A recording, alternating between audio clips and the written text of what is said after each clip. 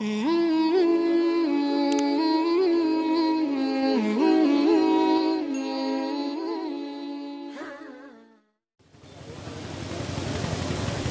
के इस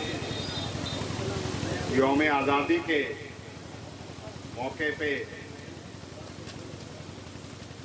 एक तो मौका बहुत मुबारक और दूसरा, ये जो जहाँ मनाया जा रहा है। उटावड़ में दादा बहार चौक पे मनाया जा रहा है। ये भी उतने तवारीखी और अपनी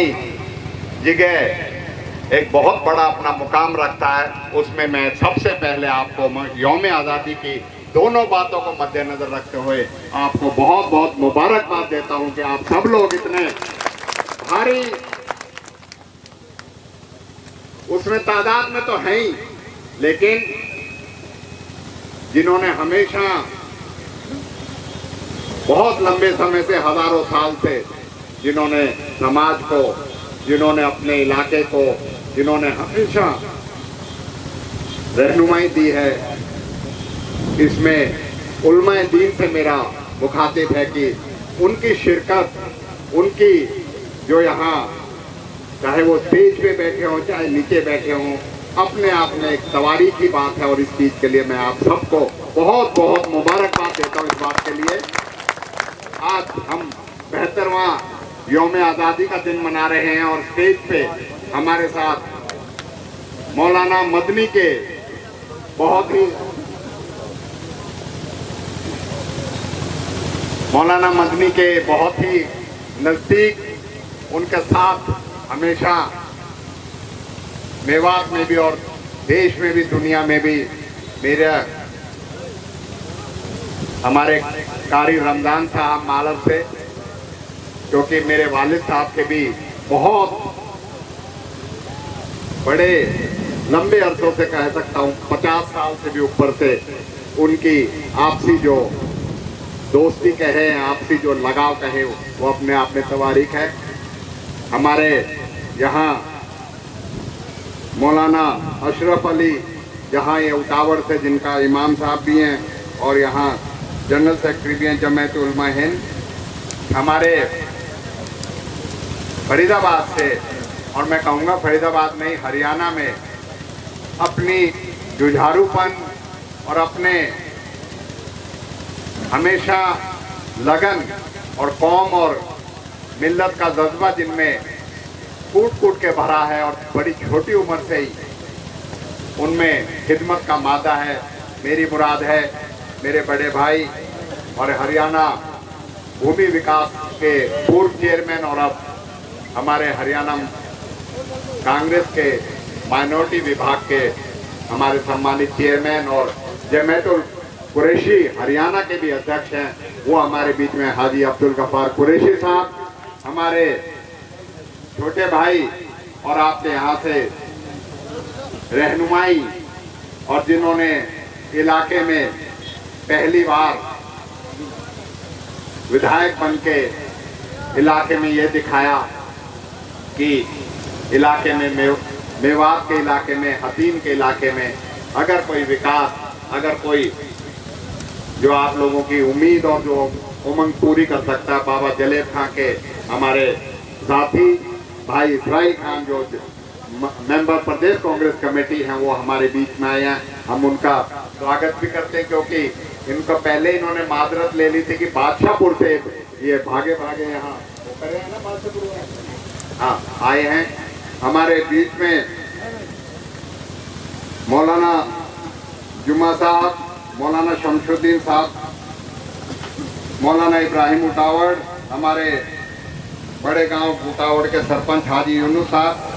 हमारे पूर्व सरपंच भाई मकसूद, हाजी अख्तर हुसैन साहब, पूर्व सरपंच, हमारे भाई अजीम जो युवा हैं, जिला पार्षद आपके, भाई इस्लाम कुरैशी जो पड़ोस जिला पलवल थे, अल्पसंख्यक विभाग के अध्यक्ष हैं, हाजी यूसुफ कोऑर्डिनेटर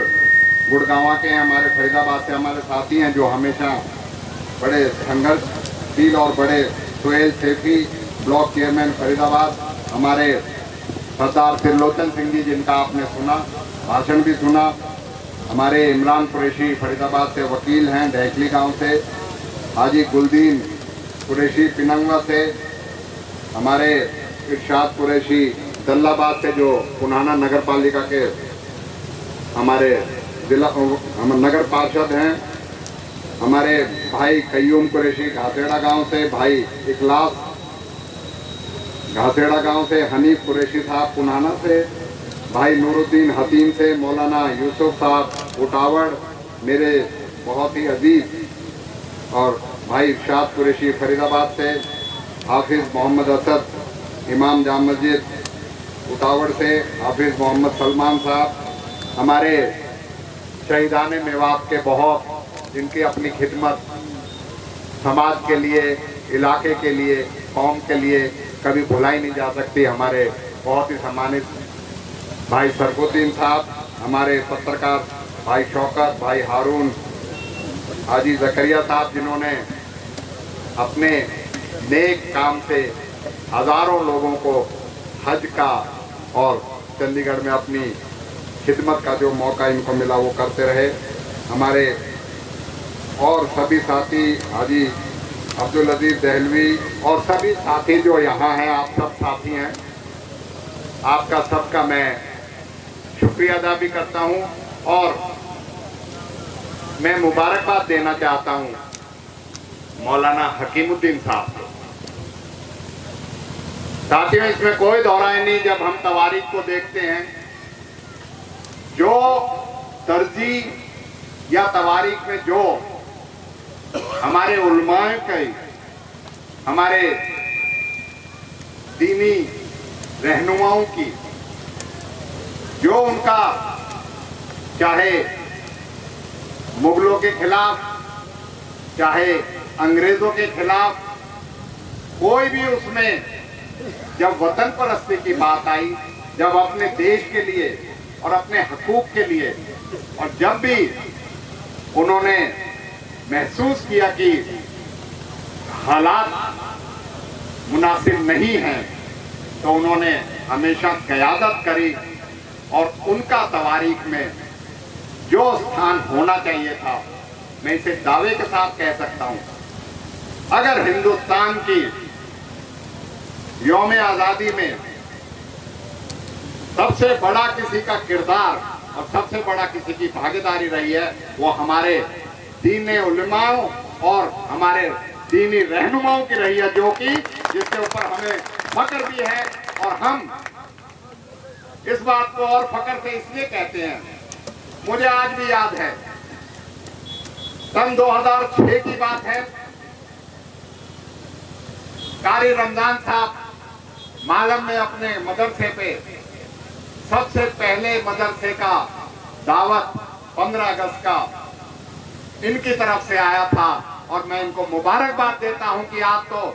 सरकारें कह रही हैं, आज वक्त का तकाजा है, आज हम भी महसूस कर रहे हैं कि हमें गुमनामी में रहने के बजाय अपनी नुमाया करनी चाहिए, अपनी कुर्बानी, अपनी जो हमारी तवारीख में हमें जगह नहीं मिली है, उसे हमें अपने आने वाली नस्लों को बताना चाहिए। उसके लिए मैं मौलाना हकमुद्दीन साहब को, क्योंकि चाहे वो खरखड़ी में पंद्रह अगस्त हो, चाहे छब्बीस जनवरी हो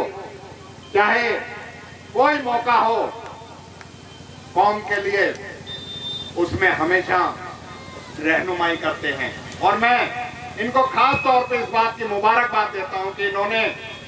उटावड़ जैसा ऐतिहासिक गाँव, जिसमें छप्पन लोगों के एक ही कबर में हमारे अठारह सौ सत्तावन के शहीदों को एक ही समय में उनको दफन किया हो तो इससे पता लगता है कि इस मिट्टी में कितना इनकलाब है, इस मिट्टी में कितना आप लोगों ने कुर्बानी देने का मौका है और किस तरीके से आप, चाहे निज़ाम हो अंग्रेज़ों का, चाहे निज़ाम हो आज के आज़ाद हिंदुस्तान का।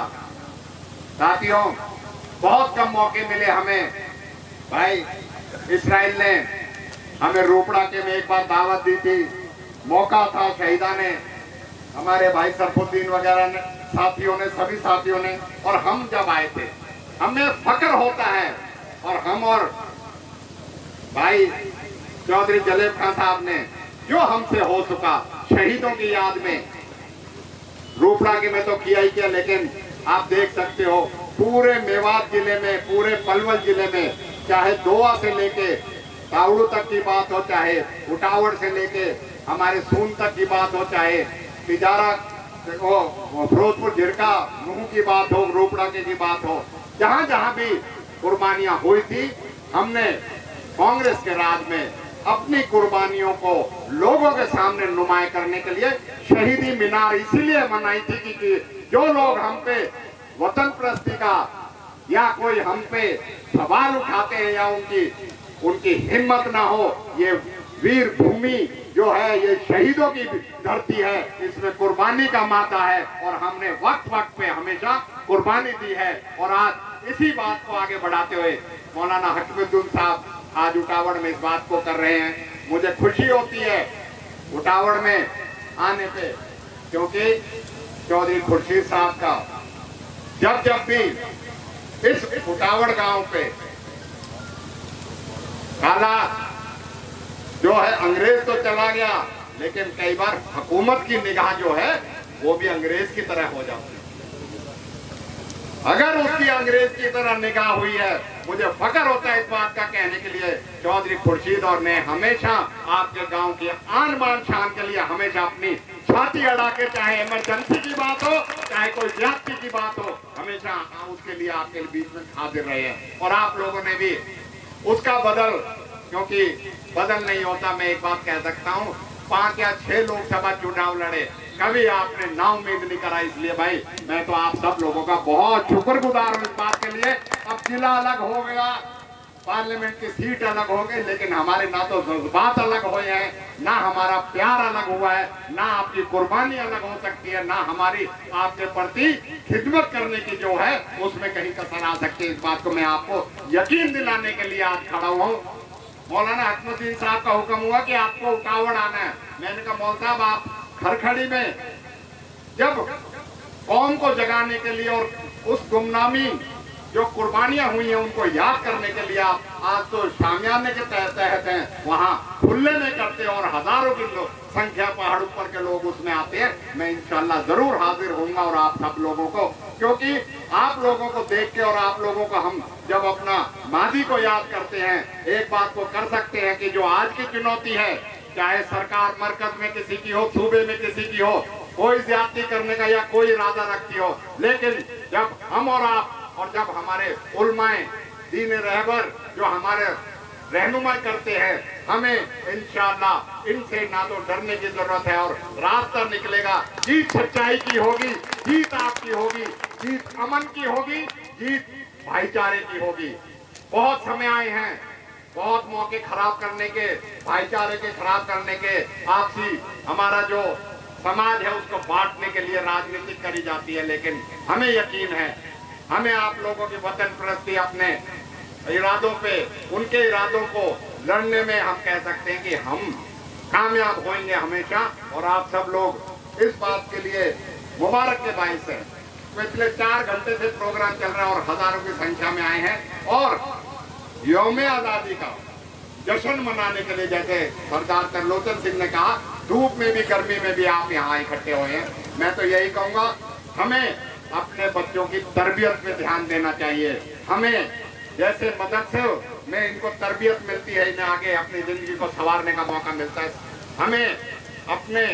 शहरी होने का प्रमाण देने की ज़रूरत नहीं है, लेकिन अपनी अगले आने वाली नस्ल को, अपनी कुर्बानियों का और क्या माजी में रहे और आगे चल के हमारे सामने जो चुनौतियाँ हैं जो दुश्वारियाँ हैं, उससे लड़ने के लिए अपनी उनको बच्चों को तैयार करना चाहिए। इनको तालीम ज़रूर देनी चाहिए, चाहे मदरसे में दो, चाहे स्कूल में दो, जिससे आगे आने वाला समय जो है, वो अगर उसमें लड़ाई किसी चीज़ की होगी, वो जहनी तौर पे लड़ाई होगी, किसी हथियार से लड़ाई नहीं होगी। और जहन जब ही आपका उभर के आएगा, जब आप उसकी जो है तामीर करोगे, चाहे स्कूल में करो, चाहे मदरसों में करो और मुझे इस बात के लिए कहते हुए फकर होता है। आज मेवात तबलीग के नाम से पूरे दुनिया में जाना जाता आज मेवात का मौलाना कोई हिंदुस्तान का कोना नहीं है जहाँ वहाँ जाके मस्जिद में अपनी खिदमत को अंजाम ना दे रहा हो। अपनी लाइन पे आप लोगों के पीढ़ी डूबे हैं, जो आज के षड्यंत्रकारी, जो आज के राजनीतिक दलों का एक कारोबार चल रहा है, नफरत का, उससे लड़ने के लिए हमें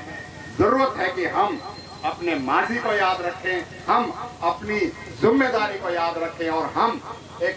अपनी तरबियत और अपनी तामीर आने वाली नस्ल की उसको सही तरीके से करें। मैं आप सब लोग इतनी बहुत देर से गर्मी में हैं, हम भी आपसे यही कहते हैं, अल्लाह हमें आपको अमन सकून से रहने के लिए इस देश में हमें अपने देश और अपने प्रदेश के लिए ऐसे योम आज़ादी मनाते हुए और तरक्की करने का और उसको आगे बढ़ाने का हमें भी जो आपको भी शर्त हासिल है, उसे और आगे हम बढ़ाएँ। मैं इसी बात को कहते हुए आप सब लोगों ने आज मुझे बुलाया, स्वागत किया। उसके लिए बहुत बहुत शुक्रिया। और मौलवी हकमुद्दीन साहब को और साथ उनके तमाम साथियों को इस बात की मुबारक देते हुए कि ऐसे फकर के मौके पे, ऐसे योम आज़ादी के मौके पे हमें अपनी क्या हम हमारी कुर्बानियाँ रही? किस तरीके से आपने नुमाया करके टीपू सुल्तान साहब के कुर्बानी को आपने यहाँ लोगों के सामने नुमाया किया? हमें ऐसे प्रोग्राम को करने की ज़्यादा ज़रूरत है। जब देश में ऐसा माहौल है, हम उस किसी माहौल में, क्योंकि कुर्बानी जब हमारी कम नहीं रही है, हम योम आज़ादी मनाने में भी किसी से कम ना रहे। बहुत बहुत शुक्रिया। बहुत बहुत